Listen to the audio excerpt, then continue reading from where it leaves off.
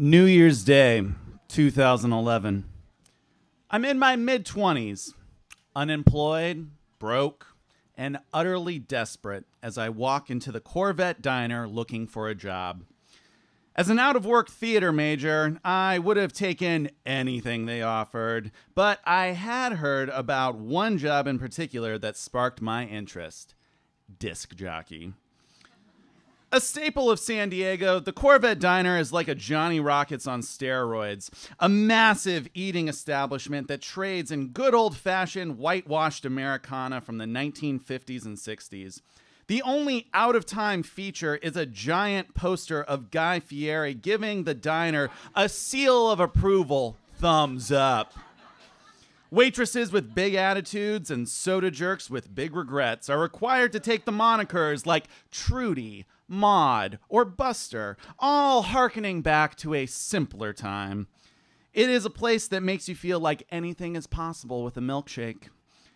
Upon arriving at the Corvette that fateful New Year's Day, I strolled up to Ed, the head disc jockey and lifer at the Corvette, to make my DJing intentions known.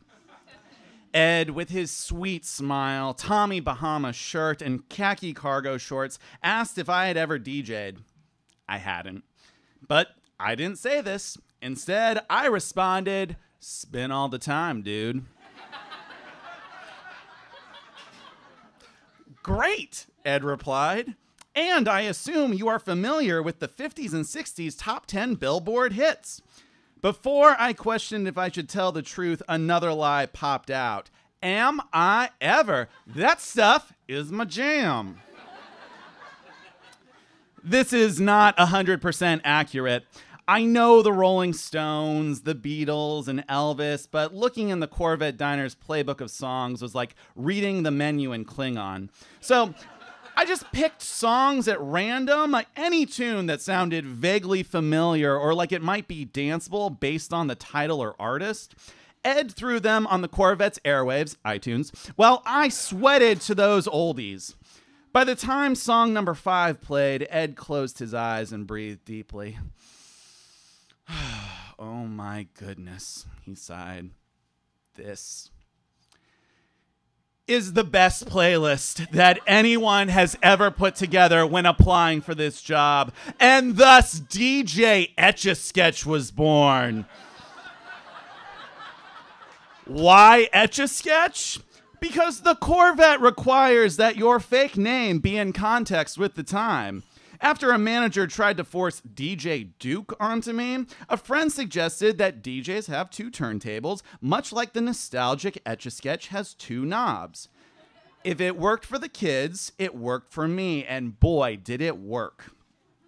As DJ Etch a Sketch, I would go on to be the most highly revered weekend DJ at the Corvette Diner.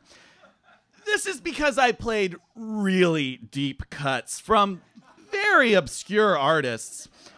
B sides and C sides that turned heads, yet prompted solid salutes of thumbs extended upwards.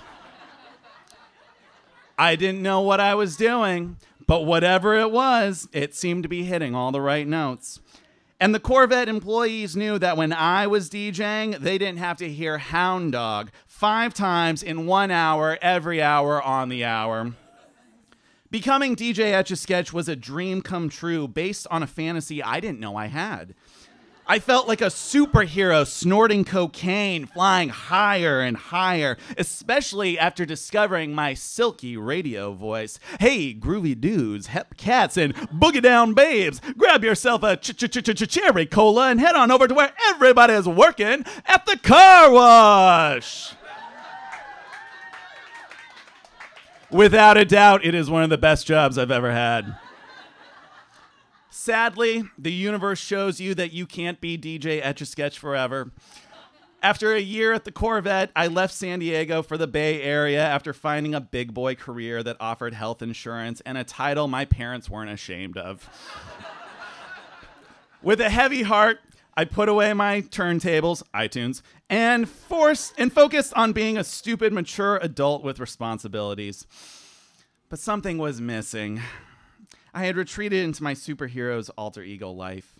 My world was thrown off balance, and I was beginning to feel an intense craving for that sensation I'd experienced at the Corvette. The problem was that I didn't know how to feed this craving. I tried to drown my sorrows and desires by going to certain bars on Tuesdays and Wednesdays and Thursday nights. bars that only advertise one thing karaoke. My routine consisted of ordering a drink or two or three, stirring up some liquid courage, submitting my nom de plume of MC Pasty to the KJ and waiting my turn until I was ready to rip loose on the mic with some old school Jay Z. Like when the Remy's in the system, ain't no tellin', will I fuck 'em, will I diss 'em? That's what they be yelling. I'm a pimp out blood. Now relay Sean. Y'all beat chase them, I'll replace them. What? Because when you're a nice young Jewish boy from the hardcore streets of Salt Lake City, Utah, you've got to find a way to express yourself.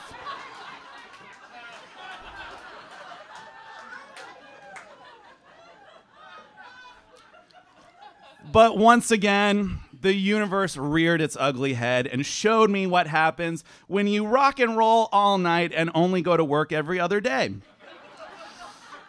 MC Pasty had to be written out of the series for a while, but that craving continued to gnaw. Around this time, I'd moved into a house in San Francisco. Rosa, one of my new roommates, worked for a startup. This startup was moving their offices into an old historic building in downtown San Francisco. And with this move came a party. And with this party came her search for a DJ. Even though I owned no equipment and it had been a few years since the Corvette, I offered my services. Rosa was very kind. Jake, we're going to rent you a system. What do you need? I remembered the dirty little secret at the Corvette diner was that the DJs used iTunes. Being a real DJ with an actual sound system was out of my league.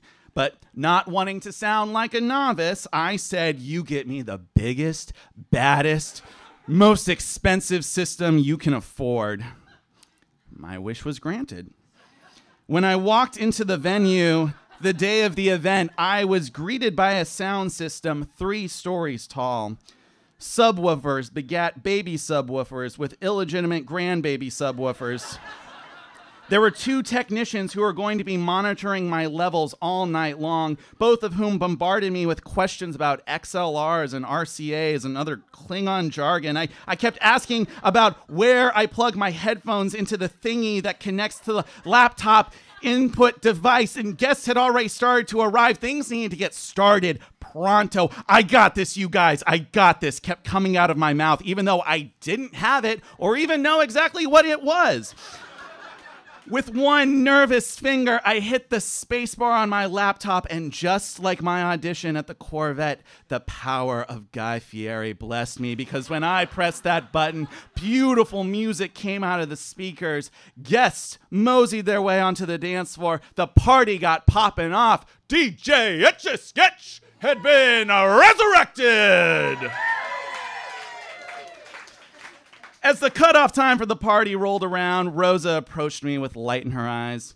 Can you keep playing until like three in the morning? I, I smiled. Hand me that Costco sized bottle of whiskey and we have a deal. I took a long slug off the bottle, then, without waiting for any other beats to drop, I promptly blacked out. The next thing I remember was waking up in a living room surrounded by family portraits of people I did not know or recognize. I had no idea where I was, except the house was not my own. My wallet was empty, cell phone dead, and I was missing a shoe.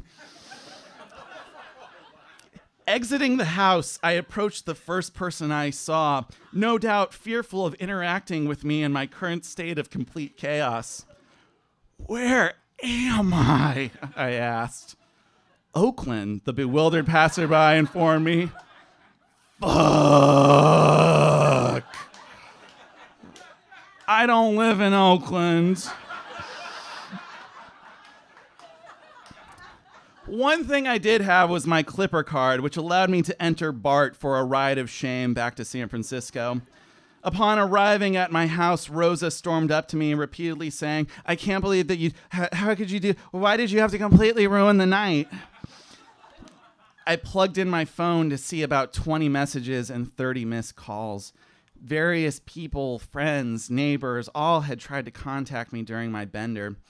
Piecing the clues together, I came to understand that someone at the party drove me to my house after the cops arrived to shut the joint down. I was already passed out, but they'd woken me up in an effort to find my keys, which I would discover in my pocket while I was listening to the messages. Cut back to me belligerently ranting and raving at the top of my lungs on my front porch from about 3 a.m. to 4 a.m. before the stranger gave up and hauled me to their house in Oakland. The last voicemail was from a woman I didn't know and had no memory of meeting. Hey, Jake, or uh, DJ Etch a Sketch. My name is Nina, and I got your contact info from your roommate. I was at the party last night where you were playing, and I just loved your music choices. But what I especially loved was how you came down onto the dance floor, busted some moves, and rapped along with one of the songs. Oh no. Flashback. It all rushed into my head. DJ Etch a Sketch undergoing a Jekyll and Hyde transformation into MC Pasty, who snatched the microphone, walked into the dance floor, and spit a classic gangster flow like drunk off Chris, mommy on E, can't keep a little model hands off me. Both in the clubhouse singing off key, and I wish I never met her at all. It gets better. Ordered another round. It's about to go down. I couldn't have. But I did. I knew it in my heart to be true. The voicemail continued. I'm an event coordinator and I'm looking for a DJ to play our corporate retreat at the Ritz Carlton next month. Holy shit! I had booked another gig at the Ritz fucking Carlton but I was embarrassed and more than mildly ashamed. Rosa was understandably pissed. She had vouched for me to her supervisor, and I had treated her work event like my own personal music video. At this point in my short DJing career, I earnestly tried to listen to the message the universe was sending my way. I decided that if I was being paid to DJ, the least I could do was stay sober through the event. Hell, if all went well on this next one, maybe I could go into business for myself and DJ part time. For the Ritz Carlton gig, I purchased some of my own equipment. I arrived on time and was a well behaved boy. As the night went on, Nina found me and asked how I was doing, to which I replied that I was peachy keen. Great, great, she said. So, when are you going to get drunk and rap on the mic like you did at that last party? My face flushed red. Oh no, I, I don't do that anymore. I told her that's that's not me. That that was an anomaly. But she trailed off. That's the whole reason we hired you. So if you could make that happen sooner rather than later, we'd all appreciate it. I took my cue.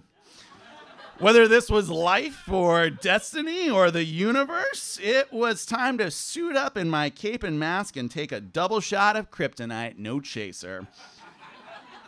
and to my surprise, it worked. And it has been working for the last four years. DJ Etch a Sketch is currently available for weddings, corporate events, bar and bat mitzvahs, quinceañeras, and anywhere you need someone to turn the volume with, give it to me. Give me that funk, that sweet, that nasty, that gushy stuff, but don't bullshit me. No, give me that funk, that sweet, that nasty, that gushy stuff. Thank you. Holy shit! My brother, So Say We All co-founder, Jake fucking Arky!